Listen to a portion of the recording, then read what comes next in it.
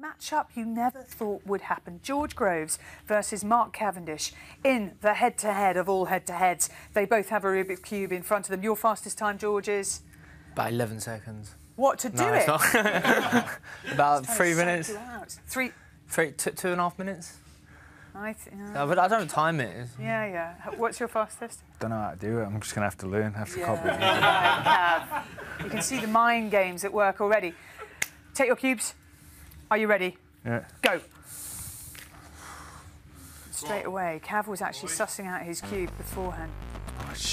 Aiming to psych out his opponent. Cav's getting frustrated here. The language is deteriorating. Oh. So there. Cav, I'm really recovered. close. Oh, Cav's on the recovered. right, Oh, yeah. my Here we go. Get He's his missed it. He's own- missed it. He's going to start again. Oh, no, he's missed it.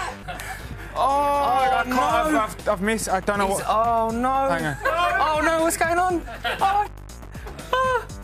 You're a little devil, you really? are. Okay. Just keep oh, it's close. him I'm back. Oh. oh, oh, baby, yeah. Was it?